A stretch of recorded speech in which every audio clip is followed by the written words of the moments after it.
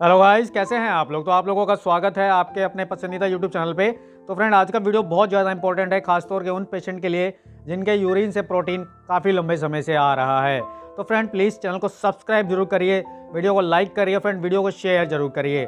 आप जब इस वीडियो को शेयर करते हैं तो ये वीडियो किसी न किसी और किडनी पेशेंट तक पहुँचता है और उससे बहुत ज़्यादा उसकी हेल्प हो पाती है। तो फ्रेंड सबकी हेल्प करते रहें और प्लीज़ वीडियो को लगातार शेयर करते रहें। तो चलिए शुरू करते हैं हमारा आज का वीडियो फ्रेंड पेशाब से प्रोटीन आना के बहुत सारे कारण होते हैं और इसके बहुत सारे इलाज हैं। मैं आपको कारण और इलाज हमेशा बताता रहता हूँ। तो आज हम जानेंगे कि पेशाब से प्रोटीन आने की जो समस्या होती है, वो क्यों शुरू हो जाती है, वो किस कारणों से शुरू हो जाती है, उसका जो मेन कारण होता है, वो क्या होता है? क्योंकि बहुत से लोग जो होते हैं, वो इसके बारे में जानते ही नहीं हैं और वो इन चीज़ों का इस्तेमाल करते रहते हैं और जिसकी वजह से उनके पेशाब से प्रोटीन आना कभी भी बंद नहीं होता और जो पेशेंट इस चीज़ों का इस्तेमाल करते जाते हैं, उनके पेशाब से भी प्रोटीन आने लग जाता है। ज़्यादा से ज़्यादा फास्ट फ़ूड का सेवन करना। तो फ्रेंड, जैसे कि आप लोग जानते हैं कि जो फास्ट फ़ूड होता है, उसके अंदर बहुत सारा ऑयल इस्तेमाल किया जाता है और फास्ट फ़ूड जो होता है, वो बहुत ज़्यादा कैलरी देता है। और फास्ट फ़ूड ज़्यादा खाने की वजह से जो एक नॉर्मल व्यक्ति होता है, उसका जो वेट होता है, वो बहुत तेज़ी से बढ़ने लग जाता है और व्यक्ति मोटापे का शिकार होने लग जाता है।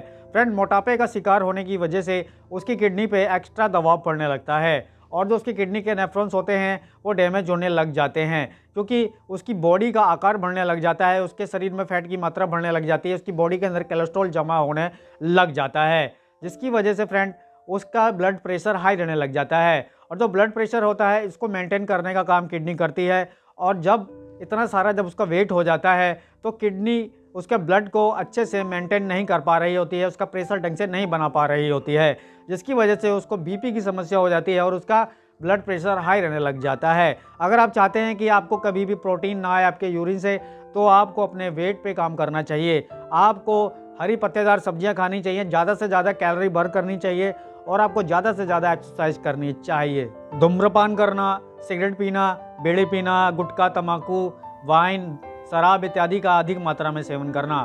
फ्रेंड, जितने भी प्रकार की नशीली चीज़ें होती हैं, चाहे वो नशा आपको बियर से आता हो, वाइन से आता हो, या शराब से आता हो, या आप तम्बाकू का सेवन करते हैं, या आप ज़्यादा से ज़्यादा स्मोकिंग करते हैं, धूम्रपान करते हैं तो फ्रेंड, इससे होता क्या है कि इन सब का ज़्यादा सेवन करने से जो आपका रक्त होता है, उसका एसिड का लेवल बढ़ जाता है। आपका रक्त ज़्यादा से ज़्यादा एसिडिक होने लग जाता है, और जब आपका रक्त इतना ज़्यादा एसिडिक हो जाता है तो इससे आपके पाचन के विकार शुरू हो जाते हैं और आप जो भी खाना खा रहे होते हैं, वो डाइजेस्ट नहीं होता है, बल्कि वो आपके पेट में बहुत तेज़ी से सड़ने लग जाता है। और जब इतनी मात्रा में आपके पेट में खाना सड़ रहा होता है तो उस खाने से जो भी विषैले पदार्थ निकल रहे होते हैं, वो आपके ब्लड के अंदर जाके मिलने लग जाते हैं। और जब ये प्योरीफायर के लिए आपके किडनी के अंदर जाता है ब्लड तो किडनी को आपकी एक्स्ट्रा बर्डन लगाना पड़ता है उसको फ़िल्टर करने के लिए। तो ऐसे में किडनी पर बहुत ज़्यादा दबाव पड़ता है, बहुत ज़्यादा प्रेशर पड़ता है और आपकी किडनी के जो नेफ्रॉन्स होते हैं वो धीरे धीरे डैमेज होने लग जाते हैं और आपका ब्लड प्रेशर भी हाई रहने लग जाता है।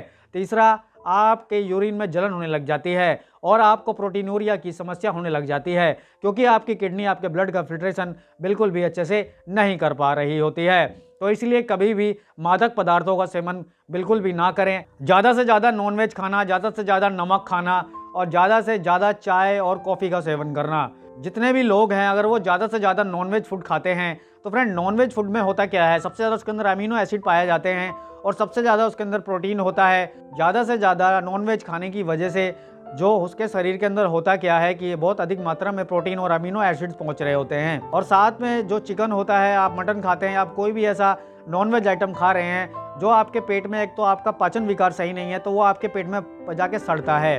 और सड़ने की वजह से, जैसे कि आपने देखा होगा कि जब किसी पुरानी कब्र को खोला जाता है तो उसमें से जब बॉडी निकलती है तो कितनी स्मेल आती है। तो वैसे ही वो खाना, वो नॉनवेज आइटम्स आपके पेट में सड़ते हैं। जब आपकी किडनी उस ब्लड को फिल्ट्रेशन करती है तो आपकी किडनी पे बहुत ज़्यादा एक्स्ट्रा दबाव पड़ता है, जिसकी वजह से आपकी किडनी डैमेज होना शुरू हो जाती है। जब आप एक्स्ट्रा शॉट लेते हैं तो आपको क्या होता है कि बहुत ज़्यादा प्यास लगती है, और उस प्याज को बुझाने के लिए आप बार बार पानी पीते हैं। और एक्स्ट्रा सोल्ट क्या करता है कि एक्स्ट्रा सोल्ट जब आप लेते हैं तो वो आपकी किडनी को डैमेज करना शुरू कर जाता है।